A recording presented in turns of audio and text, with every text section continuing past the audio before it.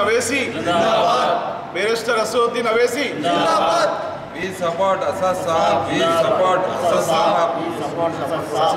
Asad साहब बोलते हैं Owaisi barrister Asaduddin Owaisi We support Asad Sahab. We support Asad Sahab. Asad साहब बोलते हैं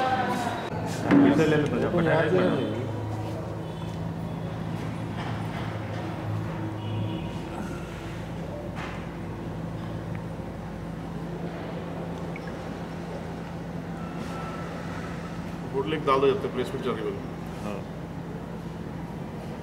थोड़ा इधर हटो पूरे बीच वाले से काउंसलर देख लेना। काउंसलर माने हाँ। डाल दो प्लेसमेंट हाँ।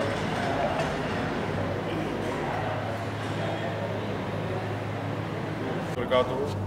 गुज्त दिनों जो हमारे A I M I M chief सदर मोहतरम बैरिस्टर असदुद्दीन अवीसी साहब की दिल्ली के अंदर सरकारी रिहाइश गाह पर, जो फ़िरका परस्तों की जानब से, जो शरपसतों की जानब से, जो उनके रिहाइशगाह पर जो बुजदिलाना हमला किया गया, मजलिस इत्तेहादुलमुस्लिमीन शाख जगतियाल उसकी मजम्मत करती है और हुकूमत से, मरकज़ी हुकूमत से और ख़ास कर मुल्क के वज़ी दाखिला जिसका दिल्ली का जो लाइन आर्डर का कंट्रोल है, अमित शाह साहब के पास है, हम उनसे मुतालबा करते हैं। मजलिस इत्तेहादुलमुस्लिमीन मुतालबा करती है कि उन फ़िरका परस्त ताकतों को जो गिरफ़्तार किया गया है, उनके ख़िलाफ़ सख्त से सख्त कार्रवाई की जाए और इनके पीछे जो साजिशें, जो ताकतें, जो कार फरमा हैं, उनके ख़िलाफ़ आप बराबर उसके ख़िलाफ़ जो कार्रवाई हो सकती है, सख्त से सख्त कार्रवाई की जाए।